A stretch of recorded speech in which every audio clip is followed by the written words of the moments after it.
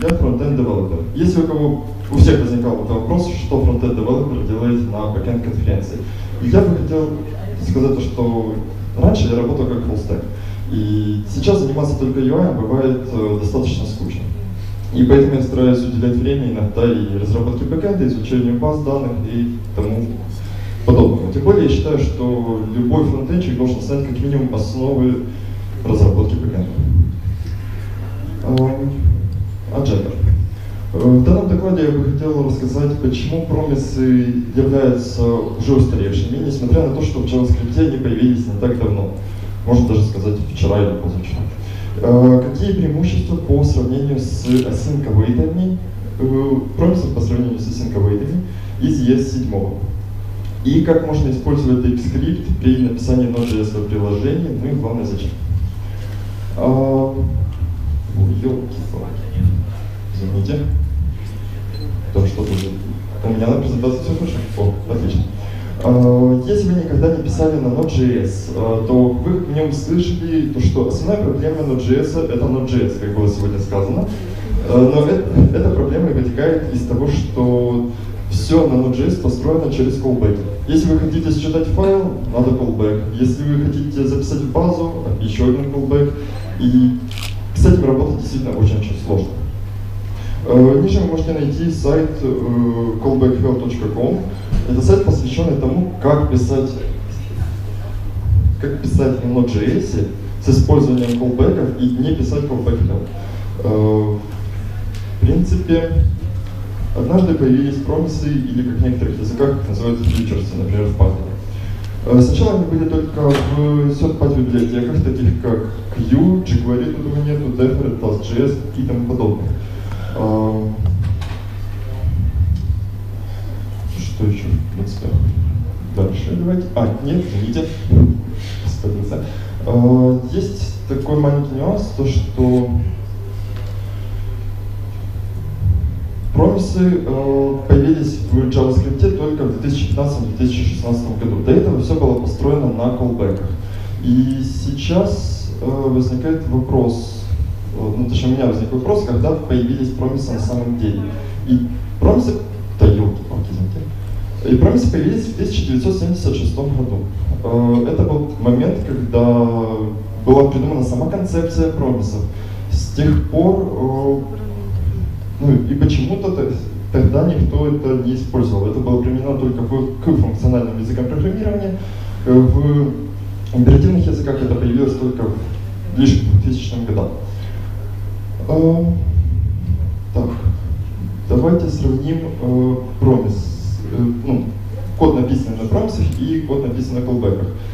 Я боюсь, что не очень хорошо видно, но я как раз вот прочитаю. Тут сначала считывается из файла input.txt, потом записывается файл и делается пост на URL, и из Redis что-то там считывается. Это вариант на колбеках. На промисах все то же самое. И вариант, который написан на промисах, э, в принципе, понятно, почему он лучше. Мы видим то, что у нас уже нет вот такой огромной вложенности. Весь код э, выстроен в одну линию, все, в принципе, неплохо, но я не считаю, что это хорошее решение, потому что это можно назвать э, arrow function hell или lambda function hell, потому что все сейчас стали пихать lambda функции или arrow функции, как они называются в JavaScript, просто везде. И даже тогда, когда это действительно надо. А, нет, тут я хочу вернуться к прошлому слайду и спросить, действительно ли, э, точнее, почему 40 лет, 40 лет, э, то есть понадобилось 40 лет опыта сотен тысяч разработчиков на то, чтобы начать писать э, промисы, ну, асинхронный код через промисы в стиле пайплайна, которые, кстати, были придуманы через 10 лет после того, как были придуманы промисы. Э, и они, были, они не основывались на промисах. Э, к счастью, решение появилось, и появилось оно благодаря C-Sharp. Действительно, огромное спасибо всем C-Sharp девелоперам за то, что в 2010 году придумали такую штуку, как Async Await, и э, потом начали использовать. После реализации в 2012 э, потихоньку в Python 3.5, 3.4 начали перетаскивать данную идеологию с Async Await. И я не хочу никого обижать, но если кто из вас был на Байконе в 2016 году, то они могли заметить то, что там был целый день посвященный библиотеке Async.io или IO HTTP. И действительно, я считаю, что это немножко странно, посвящать весь день одной библиотеке. Э, также, насколько знаю, Sync из коробки уже идет в Scala, и его недавно добавили в C++ 11 как STD Sync. Э, что же касается ECMAScript, э, или JavaScript, то он только появится в, стандарте ECMAScript 7 в следующем году. И тут я хочу сказать еще раз спасибо людям, которые не могли дождаться того момента, когда код, когда будет принят стандарт, они начали писать полифилы, начали писать транспайлеры. И было написано два основных э, транспайлера, которые сейчас популярны, это Babel и TypeScript. Э, что касается Babel, сейчас скажу, я просто его не очень люблю. Очень много лишних плагинов, э, куча манипуляций, которые действительно не всегда нужны. В TypeScript все идет из коробки, хорошо поднялось, запустилось. Э, я не говорю, что Babel плохой, но у него есть ряд недостатков, ряд преимуществ над TypeScript, но они же являются его недостатками. Перед тем, как мы перейдем к э, сравнению async над промисами и рассмотрению достоинств и недостатков э, async, я бы хотел сравнить код, написанный на промисах.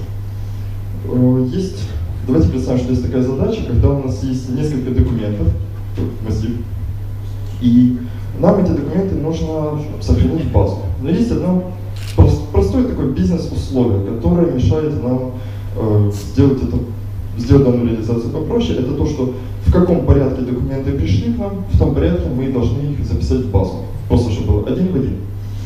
Э, и на промисах мы получаем такое решение, если честно, я бы это назвал просто костылем, потому что это ненормально. Мы проходим через for по документу, первый callback, делаем промис, внутри которого, ну, перезаписываем промис, внутри которого возвращается еще один callback, и внутри выполняется db пост.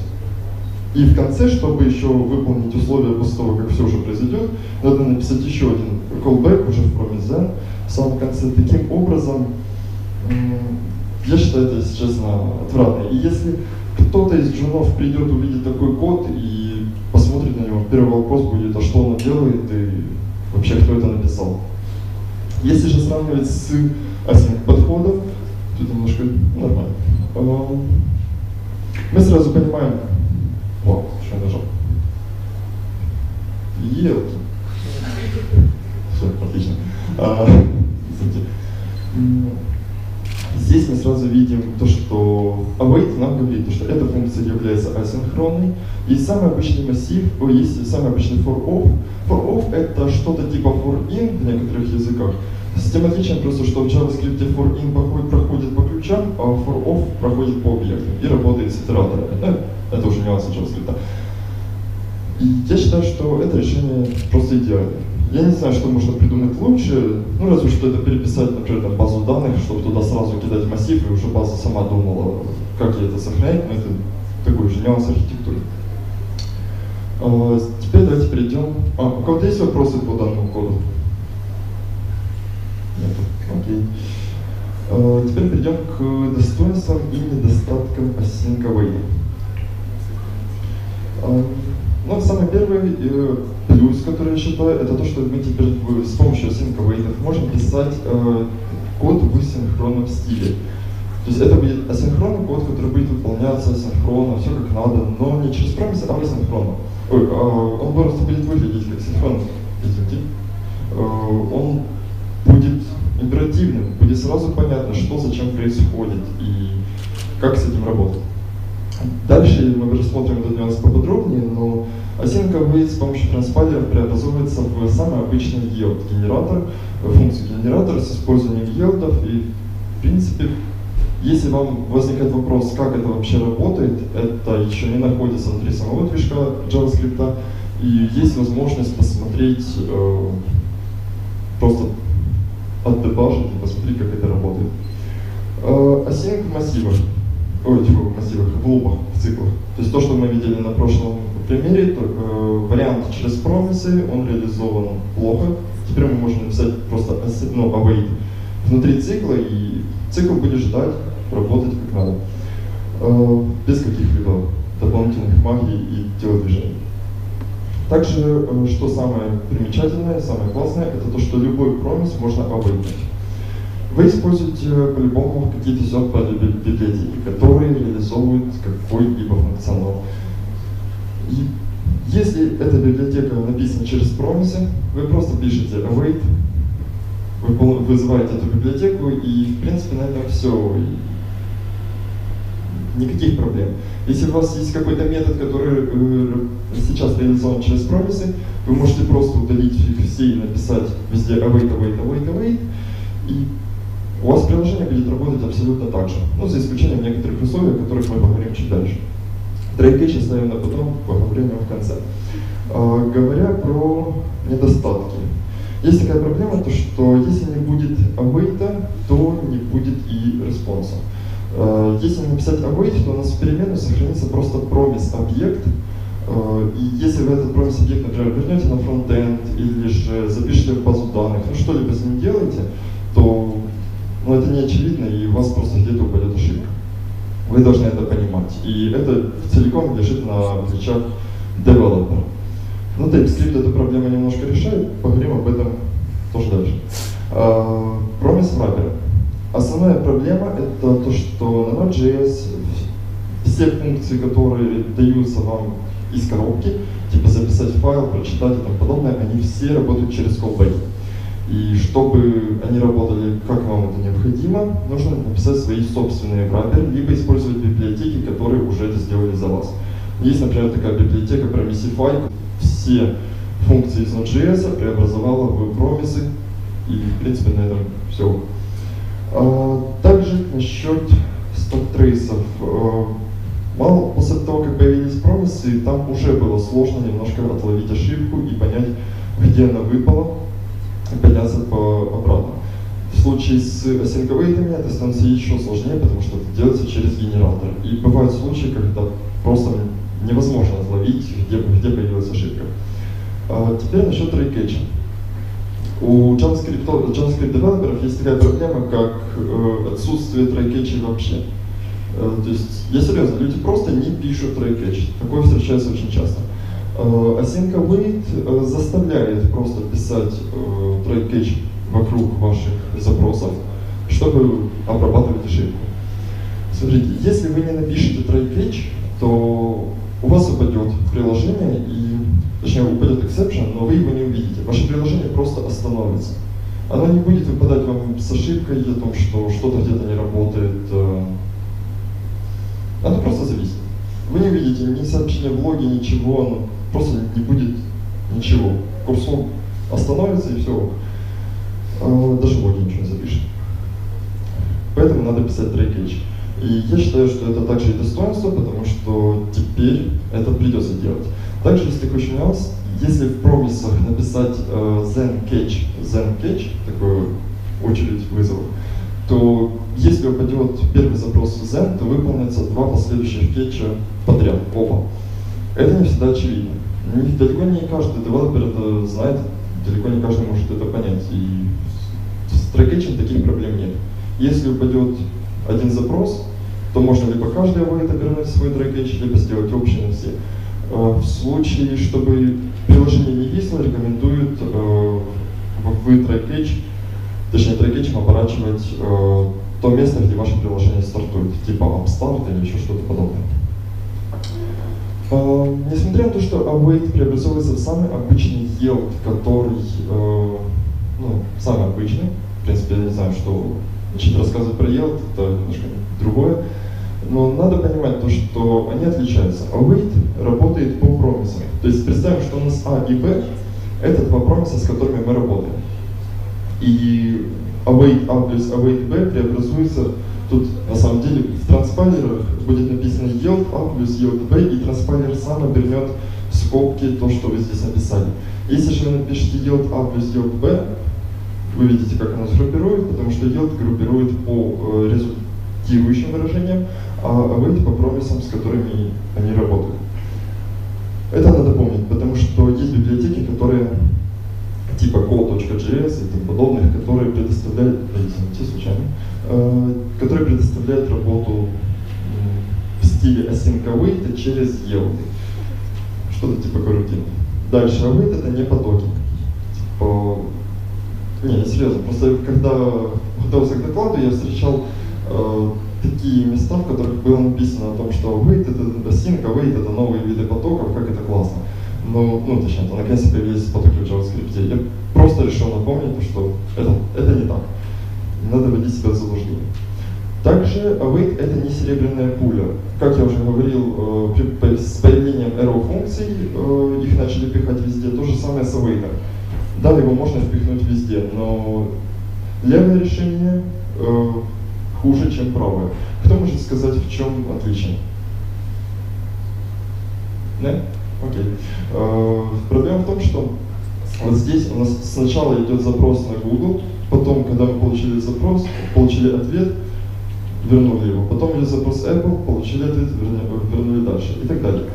И левая часть, сейчас правая, нет, там правая, левая, задолбался, извините. Э, правая часть с авейтами, там где три авейта подряд, она будет работать ровно в три раза, в три раза дольше. Э, для этого есть такая штука, как promise.o. Э, этот промис не зарезолвится до тех пор, пока не будут э, зарезолвены все промисы внутри этого объекта или массива, который передали. Почему TypeScript? Сейчас TypeScript это ну, что-то считается типа тренда. Э, и он немножко задает сейчас направление. Angular 2 построен на TypeScript. Многие э, девелоперы, которые разрабатывают библиотеки, сейчас разрабатывают на TypeScript, просто потому что он позволяет нам поддерживать и приложение даже там, через месяц, через два открыть его и сразу понять, что где происходит.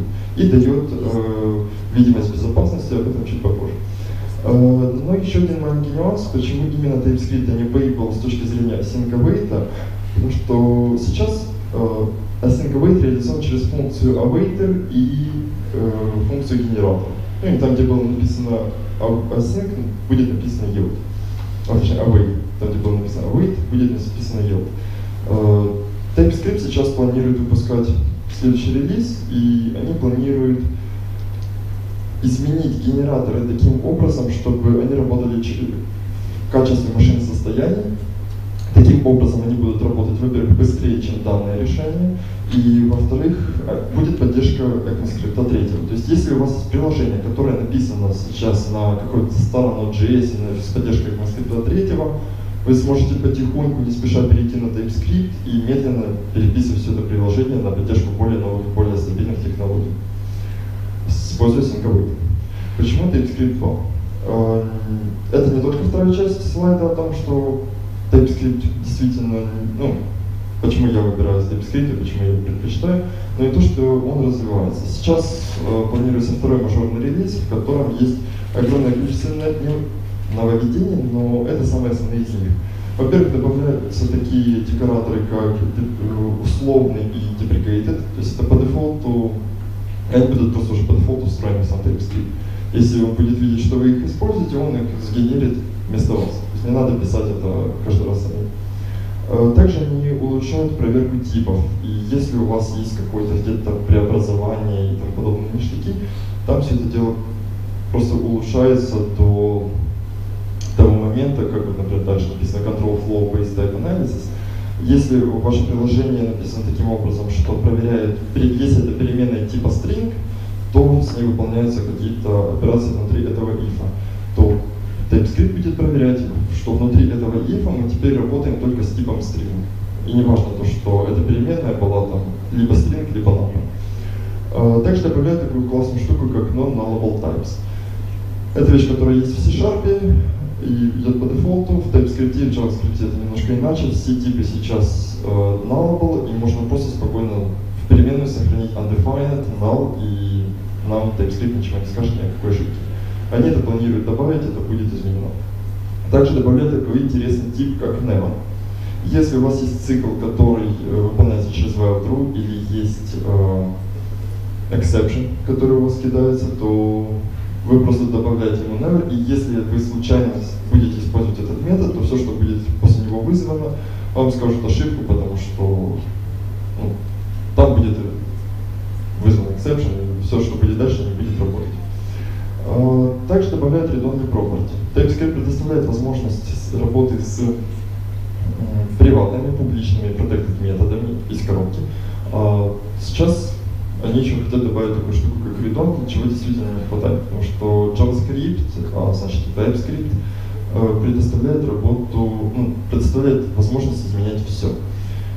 Ну и автокомплит, э, благодаря TypeScript, благодаря строгим типам у нас есть возможность работать со строгими типами и IDE или даже банальные редакторы типа там, Sublime, Visual Studio Code, Vima, или тоже, кстати, поддерживается, насколько я помню, э, будет полностью абсолютно полноценный автокомплит по типам и разрешенным, запрещенным методам и так далее. TypeScript, как и любой язык, имеет свои недостатки. Это, это не знаю, язык, инструмент, все называют по-разному. Э, но он также имеет недостатки. Самый большой недостаток это type definition. Вся суть в том, что если вы используете third-party библиотеку, TypeScript просто банально он не знает, какие типы есть у этой библиотеки, с какие интерфейсы, что она предоставляет. И для этих штук было реализовано такое, такое понятие, как type definition. То есть это банальный файл, который описывает интерфейс того или иного модуля. Это было решение такое сомнительное, но при этом оно работает, работает стабильно, работает хорошо. А, проблема, ну, почему это считается недостатком? Если у библиотеки нету type definition, то вам его придется написать самим, либо найти в Google, э, ну на GitHub. Если type definition написан, то, скорее всего, данная библиотека уже устарела. Есть э, также, и вам чаще всего на самом деле приходится просто сидеть, переписывать свои definition или просто писать их самим, чтобы понимать, что данная библиотека делает и как-то ограничивать возможности. А, насчет интерфейсов. Как бы, да, это преимущество TypeScript, появились интерфейсы, они отличаются от классов, они не сохраняются в файлах и тому подобное, но если неправильно использовать, возникает такая проблема, то что интерфейсы просто везде. Опять же, просто пихают всюду. У вас э, может даже случиться такой кейс, когда у вас количество интерфейсов будет больше, чем классов, бизнес-логики и всего, что у вас написано в приложении. Просто потому, что вы все захламили интерфейсами. Как бы, ну, честно сказать, это плохо. И тут уже стоит вопрос архитектора, сеньора и так далее, людей, которые должны это дело валидировать. И тут еще самый последний, самый большой недостаток, это TypeScript, это всего лишь расширение JavaScript. Он дает иллюзию. Иллюзию того, что ваше приложение стабильное. Иллюзию того, что ваше приложение безопасное, то, что все работает по строгим типам, как все замечательно. Но когда вы будете работать, использовать его на реальном проекте, он скомпилирует все в самый обычный JavaScript. И если у вас в проекте реализован но существуют ошибки, которые идут, корни которых исходят из самого JavaScript, эти же ошибки у вас будут и в TypeScript, TypeScript скажет, все окей, никаких проблем тут на самом деле нет. То есть на этом, да, на этом в принципе все, я думаю, я немножко поспешил, даже слишком поспешил. Нет. Вот. Какие вопросы? Да.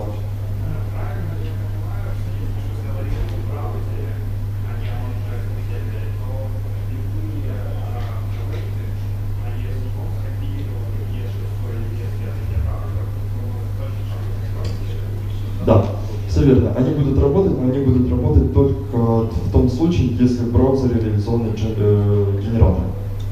То есть, э, если браузер, например, в Chrome реализован генератор, все будет работать из коробки, замечательно, проверял, действительно все. Но если это, например, Edge Microsoft еще какая-то такая приблуда, то там генератор, например, еще не реализованный, и ваше приложение просто ничего не будет делать. Оно просто зависнет без ошибки, как я говорил. Ну, если у вас стоит цель поддерживать все браузеры, то да, понятное дело, что тогда исходить из... э, ну, TypeScript поддерживает все браузеры. Он компилирует тот же архив, который поддерживается. Все браузеры. Но если, но если браузер не поддерживает генераторы, Которых нет. ко- которых, ко- которых нету просто еще в самом браузере, то тогда не будет э, и расширение, это надо язык subset. Да, да. И если использовать все то, что есть в спецификации языка то никаких проблем не будет. У вас будет в любом случае. М, Не всегда. Если вы будете компилировать под ES3, то асинковые не будут работать. Мало ли пришло у вас пр- требование от заказчика. Ну, жизнь не, не может от этого. И TypeScript девелоперы, ну, то есть люди, которые разрабатывают, они действительно хотят сейчас переписать все таким образом, чтобы была поддержка ES3, чтобы была поддержка ES5. То есть при компиляции сейчас э, async await в ES5, он скажет о том, что ошибка, потому что в ES5 нету дженериков. Не могу скомпилировать твой async, у тебя должен быть ES6 как таргет цель стоит. Такая проблема есть. Но они в версии 2, 2.0 или 2.1, я не помню, у них написано на ките, потому что если вы зайдете на м, GitHub TypeScript, да, у них есть такой на вики два раздела. Первое это road что-то там, roadmap, и второе это what's new. Есть вы можете посмотреть, что будет реализовано в самом what's new, можно посмотреть, что будет реализовано конкретно. На roadmap можно посмотреть цели на ближайшие два релиза. И это действительно замечательно, потому что дает понимание девелоперам, э, что будет нового, что будет разрабатываться. Я считаю это замечательно. Еще вопрос есть? Честно скажу, мне нравится TypeScript. Он замечательный. В том плане, то, что он дает безопасность девелоперу. Вы можете писать код и не бояться за то, что ваше приложение в один прекрасный момент упадет. Вы можете отрефакторить спокойно класс, метод, и все будет замечательно. У вас ничего не сломается хотя бы на, на этапе компиляции. Если у вас что-то сломается на этапе уже самого рантайма, ну, значит, либо входные данные, либо проблема с, с самими входными данными, с которыми вы работаете, либо вы не предусмотрели какой-то кейс. Но если писать код на ну, именно на Node.js и таким образом, чтобы ожидать и обрабатывать все, все входные данные и проверять, то внутри приложения все будет замечательно. Это гарантирую.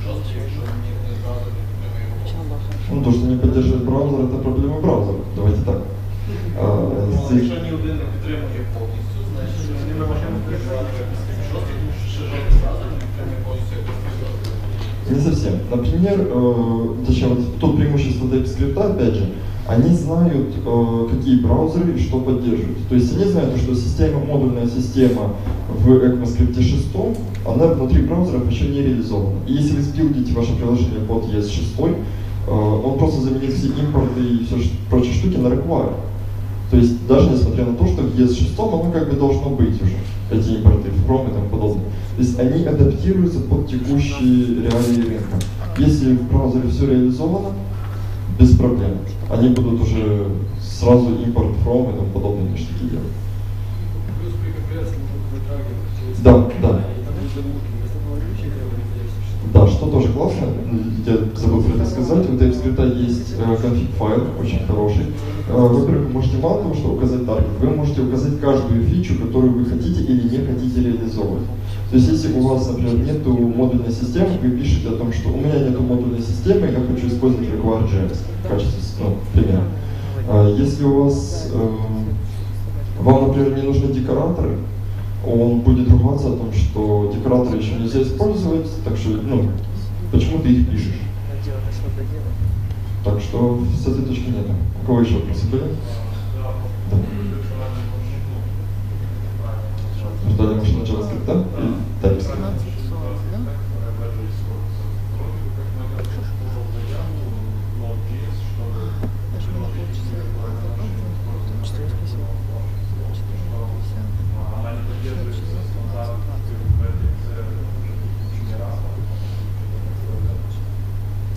есть маленькие нюансы. Э, можно найти на, на просторах GitHub, даже кажется, лежат какие-то адаптированные версии Node.js, которые позволяют работать с TypeScript напрямую, и они его напрямую компилируют.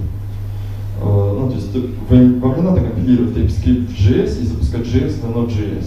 То есть можно это напрямую пропиливать. Но это какие-то адаптированные штуки, которые я не могу говорить, что они стабильны или что их вообще можно использовать. Это просто что-то самописанное на коленке, чтобы упростить самим себе жизнь. Ну или наоборот усложнить. А, насчет э, того, что они подали заявку в Node.js, честно сказать, я насчет этого ничего не знаю, но то есть то, что действительно, это то, что они хотят. Да.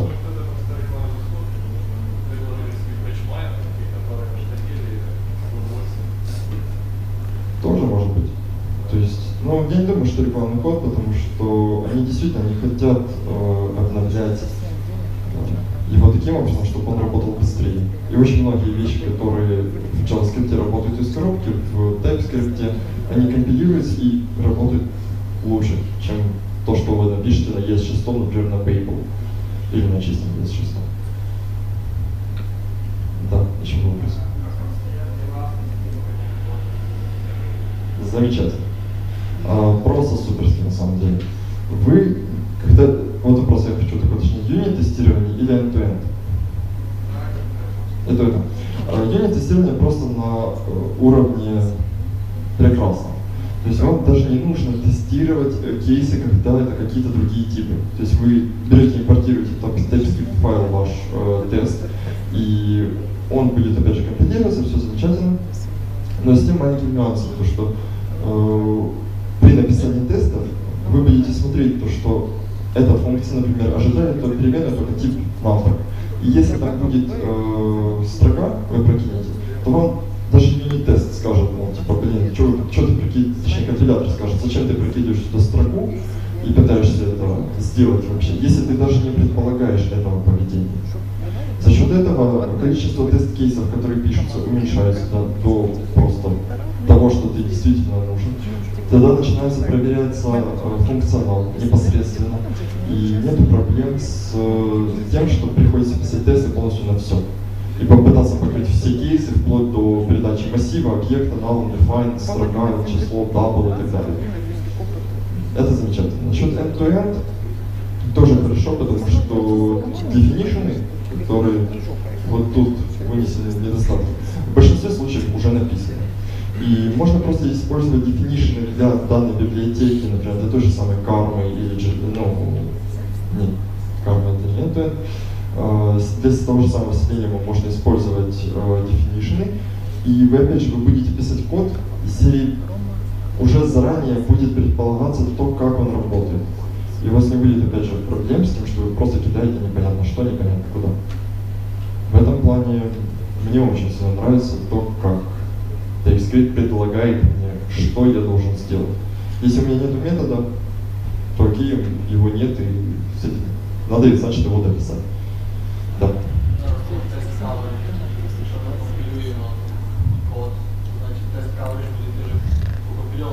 Да. Да.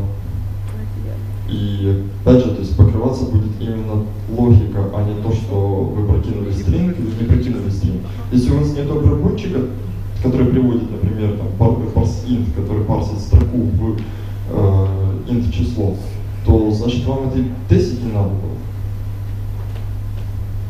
Он позволяет, TypeScript позволяет нам написать приложение, которое заранее работает, как мы придумаем, а не пытаться абстрахироваться под э, требования, ну, точнее, под динамическую типизацию JavaScript. Ну, все зависит от входных данных. Еще вопросы? То есть, э, получается, TypeScript работает только ну, на момент компиляции, да.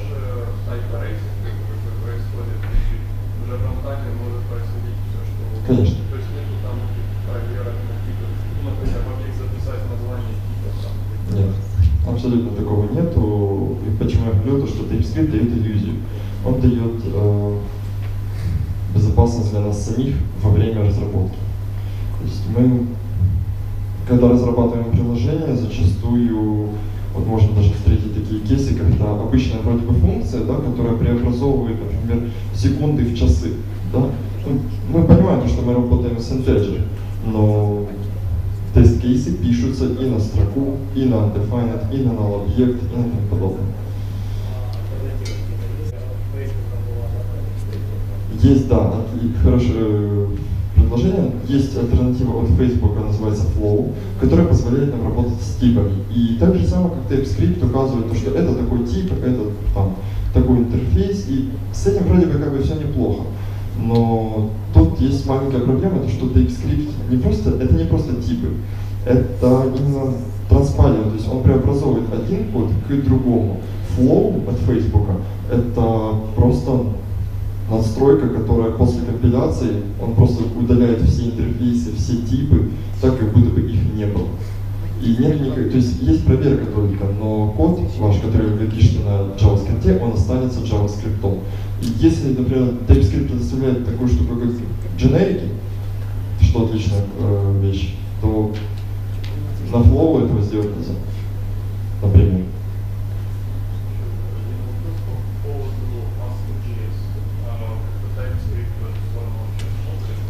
Честно сказать, я не знаю, не инвестируйте. Надо будет посмотреть, э, но как это будет в будущем. Я вообще не думаю, то, что TypeScript смотрит в эту сторону, потому что он смотрит в первую очередь на JavaScript, на то, куда он развивается, как он развивается, и он задает направление.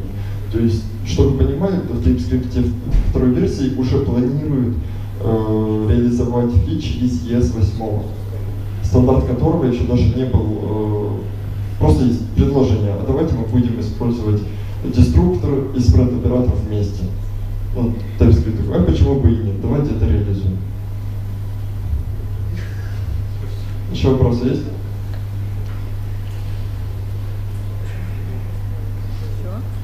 Думаю, все. Все, спасибо.